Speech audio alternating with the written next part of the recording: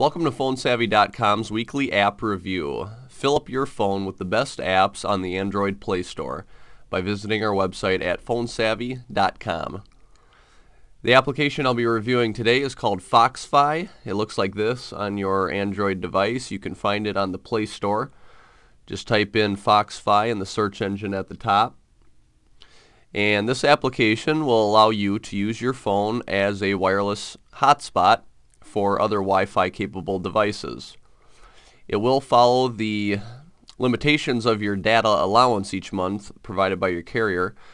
So whatever internet you use on your other devices, it will run off of the amount you have on your current Android device. Once you download Foxfi, it's very simple to use. Just select it and then select Activate Hotspot.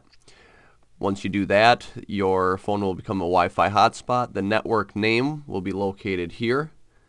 And then you can choose to set a password by selecting this option. Type it in and hit OK so that you can block other users from using your Wi-Fi hotspot. And you can also connect your device to other Bluetooth capable devices like your computer. This will allow you to transfer files from your phone to your computer. They have a nice Bluetooth help section here on how to connect your phone to these operating systems for computers.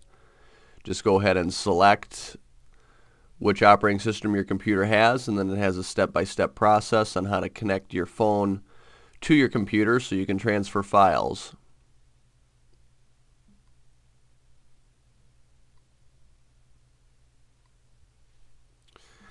And this is our app of the week called Foxfi. Make sure you download it from your Android Play Store and also visit our website at phonesavvy.com to see all of the best apps available on the Android Play Store.